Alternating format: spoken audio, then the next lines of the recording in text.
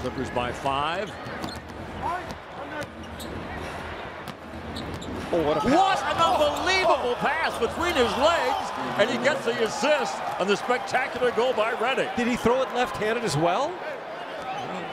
I'm not sure about that. I'm not sure either. Man, oh man.